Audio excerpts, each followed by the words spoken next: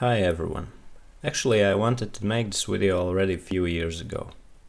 I saw a movie that involved some magic and there was one scene in that movie where the rain was stopped in midair and even reversed so that it flew upwards. One moment I realized that I actually know what's the idea behind this magic trick and I wanted to repeat it. So what you can see here is my attempt to do that.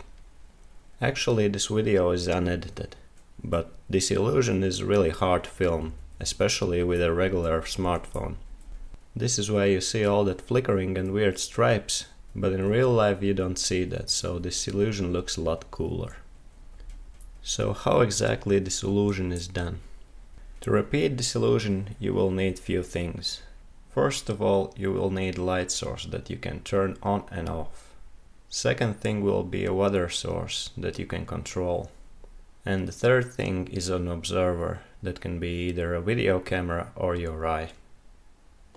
Now let's imagine that we are reducing the water stream until we get to individual water droplets. Once we have done that, this is the moment where the light source starts to play its role. Let's imagine for a moment that we are in a dark room. If we will turn on the light source just for a brief moment, we will see the exact location where each water droplet is located. After that, we will turn the light source off.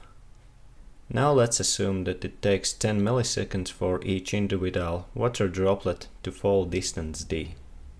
If we will turn back on light source after exactly 10 milliseconds, this water droplet will be in the same place where this water droplet was previously.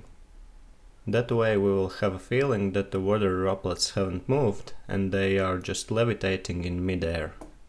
As long as we are continuing to turn the light source on and off at the exact frequency, we are keeping the illusion going.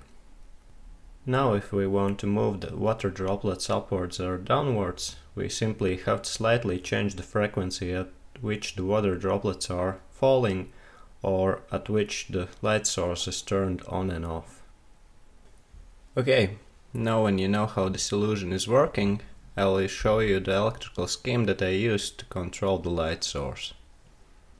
For this project I used an LED lamp that you can see here and it already contained an LED driver that served as a power source.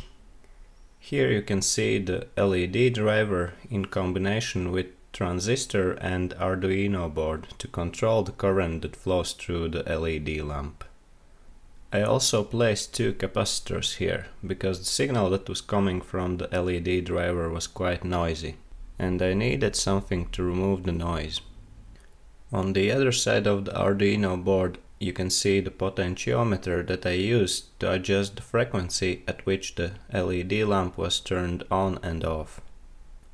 One pin of the potentiometer was connected to plus 5 volts, the other pin was connected to 0 volts, and the third pin was connected to Arduino's analog input.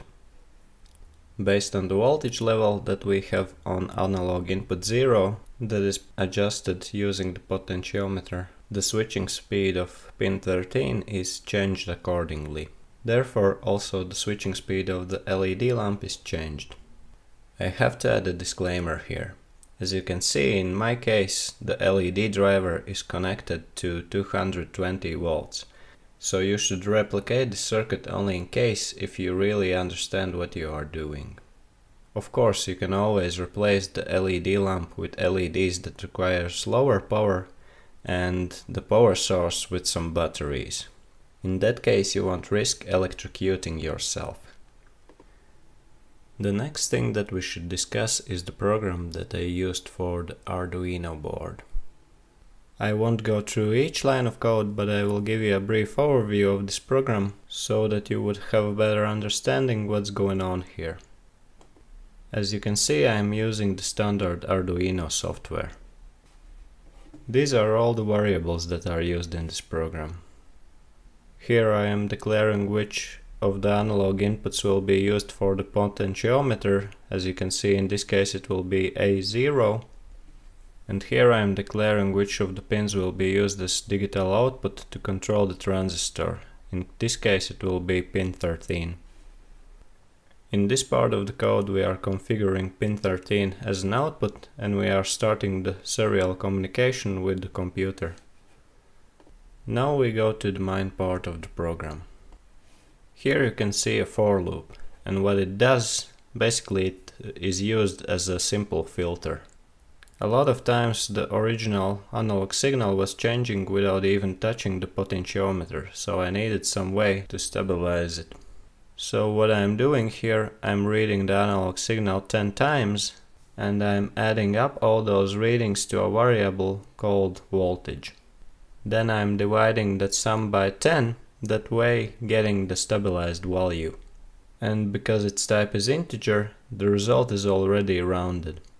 In this case, if the Arduino will read, for example, 9 times a value 170 and 1 time a value 171, in the result I will still get the value 170, that way returning the more stable value, and the less stable value will be ignored.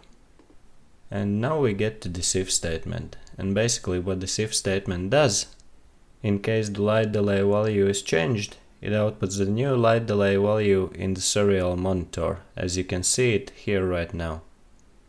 I would say that the only purpose for this if statement is debugging, just check if everything works properly. And the last part of this code turns on the LED light for 1 millisecond and then turns it off for a certain period of time that is based on the analog voltage reading from the analog input. So that's a brief overview of this program. In case if you want to play around with it, you can either rewrite it from this video, but I will also leave a link in the video description where you can simply go and copy and paste it. Now I will show you the setup while making this video. Here you can see the power connections for the Arduino board and for the LED lamp. Next comes the LED driver here you can see the Arduino Uno and the breadboard with the transistor and potentiometer. And here is the LED lamp that I used. Now let's look at the setup of my water source. As you can see I am not using a regular tap because it turns out that it is really hard to accomplish a uniform stream of water droplets that would not shift in frequency. This is the reason why I'm using this arguably complex setup. I even made a customized cup for the water bottle to reduce the distortions while refilling the water reservoir. I added a tubing and a sponge inside the cup to accomplish something similar to a laminar water stream. One of the last things that I want to show you is a video where I'm trying to adjust the frequency at which the light source is switching. Watching this video you should have a better understanding why it is so hard to film this illusion. To get a good quality video basically two things have to be perfect. The frequency at which the water droplets are falling and the frequency at which the light source is switching. And now one last time I will show you my best attempt. Please feel free to like and share this video in case if you found it interesting and subscribe for more of my content. Cheers guys, bye.